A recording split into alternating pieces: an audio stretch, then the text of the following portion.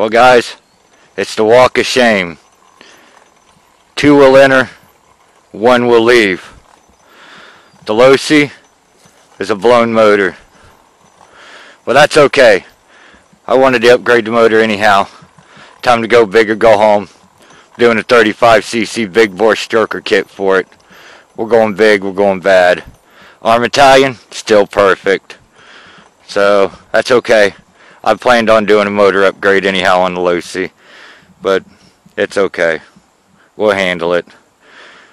No, man, I hope you guys liked the video.